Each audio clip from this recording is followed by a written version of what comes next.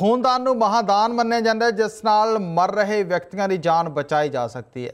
ਇਸੇ ਤਰ੍ਹਾਂ ਦਾ ਚੰਗਾ ਉਪਰਾਲਾ ਅੱਜ ਬਟਾਲਾ 'ਚ ਸੰਤ ਨਿਰੰਕਾਰੀ ਸੇਵਾ ਮੰਡਲ ਵੱਲੋਂ ਵਿਸ਼ਾਲ ਖੂਨਦਾਨ ਕੈਂਪ ਲਗਾ ਕੇ ਕੀਤਾ ਗਿਆ। ਇਸ ਕੈਂਪ ਦਾ ਉਦਘਾਟਨ ਕਰਨ ਲਈ ਜੋਨਲ ਇੰਚਾਰਜ ਭਾਈ ਸੁਖਦੇਵ ਸਿੰਘ ਨੇ ਵਿਸ਼ੇਸ਼ ਤੌਰ ਤੇ ਸ਼ਿਰਕਤ ਕੀਤੀ।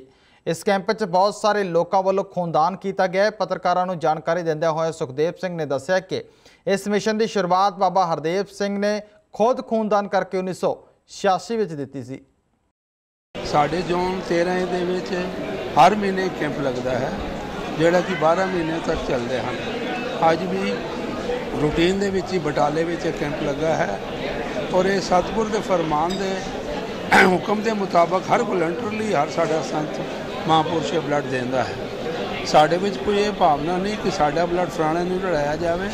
ਉਲਟਾ ਇਹ ਸਤਿਗੁਰ ਦਾ ਫਰਮਾਨ ਹੈ ਕਿ ਜੋ ਬਲੱਡ ਹੈ ਨਾਲੀਆਂ 'ਚ ਨਾ ਡੁੱਲੇ ਨਾੜੀਆਂ 'ਚ ਡੁੱਲੇ ਤਾਂ ਕਿ ਹਰ ਮਨੁੱਖ ਦਾ ਜਿੱਥੋਂ ਤੱਕ ਹੋ ਸਕੇ ਉਹਨੂੰ ਬਚਾਇਆ ਜਾਵੇ ਕਿਸੇ ਨੂੰ ਕੋਈ ਬਲੱਡ ਦੀ ਕਮੀ ਨਾ ਆਵੇ ਇਸੇ ਭਾਵਨਾ ਨਾਲ ਸਾਡੇ ਤੇ ਸੰਤ ਮਹਾਤਮਾ ਹਾਜ਼ਰ ਹੋਏ ਹਨ ਔਰ ਲੱਖਾਂ ਹੀ ਇਹ ਜਿਹੜੇ ਹਨ ਬਾਹਰ ਮਰੀਜ਼ ਇਸ ਦਾ ਫਾਇਦਾ ਉਠਾ ਰਹੇ ਹਨ ਔਰ ਅੱਜ ਵੀ ਇਹੀ ਭਾਵਨਾ ਹੈ ਦਾਤਾਰ ਰਹਿਮਤ ਕਰੇ ਜਿਤਨੇ ਇੱਥੇ ਸੰਤ ਮਹਾਤਮਾ ਹਾਜ਼ਰ ਹੋਏ ਹਨ ਉਹਨਾਂ ਦੀ ਭਾਵਨਾ ਹੋਰ ਸ਼ੁੱਧ ਹੋਵੇ ਇਸੇ ਤਰ੍ਹਾਂ ਹੀ ਉਹ ਸਤਿਗੁਰ ਦਾ ਫਰਮਾਨ ਮੰਨਦੇ ਦੁਨੀਆ ਦੀ ਜਿੱਥੇ ਸੇਵਾ ਕਰਨ ਉੱਥੇ ਆਪਣੇ ਸੰਗਤਾਂ ਦੀ ਸਤਿਗੁਰ ਦਾ ਫਰਮਾਨ ਮੰਨਦੇ ਚਲੇ ਜਾਣ। ਇਹ ਆਪਾਂ ਦੇ ਅੱਜ 39 ਵਾਰੀ ਹੋ ਗਿਆ ਜੀ 39 ਵਾਰੀ।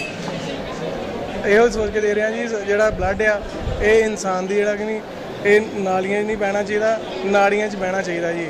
ਇਹ ਬਹੁਤ ਜ਼ਰੂਰੀ ਹੈ ਦੇਣਾ ਜੀ ਬਲੱਡ ਜਿਹੜਾ। ਇਹ ਸਤ ਸਾਡੇ ਸਤਿਗੁਰੂ ਦਾ ਆਦੇਸ਼ ਹੈ ਜੀ ਇਹ ਜਿਹੜਾ ਬਲੱਡ ਜਿਹੜਾ ਹੈ ਨਾ ਇਹ ਜਿੰਨਾ ਵੀ ਦੇਵਾਂਗੇ ਅਸੀਂ ਸੇਵਾ ਕਰਾਂਗੇ ਜੀ ਤੇ ਆਪਣੇ ਫਾਇਦੇ ਲਈ।